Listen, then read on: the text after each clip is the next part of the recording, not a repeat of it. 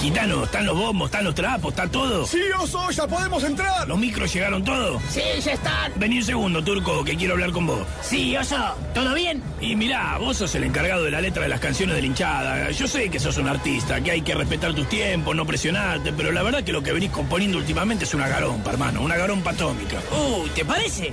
¿En serio me lo decís? No te hagas el sorprendido, Turco, hace un montón que no metes un hit. Bueno, pará, no me digas así. Te vas para tu cancha con el culo roto, es mía. Pero tiene mil años, Turco, está bien, la cantaron todas las hinchadas, pero no te podés recostar tanto en un éxito. Igual yo siempre traigo algo. Sí, pero te tenés que modernizar, tenés que hacer canciones con los temas que están sonando ahora, tipo guachiturros. El último que hiciste era con un tema de José Luis Perales. ¿Qué? ¿No te gustó? Está buenísimo. Vos sos cagón. De esta cancha no vas a salir. Puto y botón. Viniste acá en patrullero. Corta acá, corta acá que es un desastre. De 1986 es ese tema, turco. Mirá, yo soy un artista y esta es mi obra. Está bien, pero a veces te vas a la mierda. El sábado pasado te caíste con una canción que duraba 7 minutos. No tenía estribillo, imposible de recordar.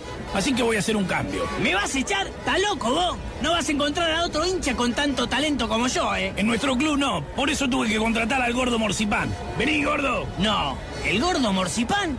El único que conozco con ese apodo compone para la luz. Y es una leyenda, es un artista del carajo. Es el que creó Me duele la pija de tanto coger jugadores la concha de su madre. Un agresivo hermoso. Y ahora compongo para ustedes. Apareció la tarasca y me cambié, muchachos. Pero yo... Pero vos ya estás afuera, el gordo Morcipán. Tiene grandes planes para esta hinchada. Hoy vamos a arrancar con este de los guachiturros. Esta tarde amargo te corremos a balazo. Aguante la puta y el faso. La verdad que sí, sos un genio, gordo. Vamos entrando, muchachos, vamos entrando, muchachos. Vamos. Vamos!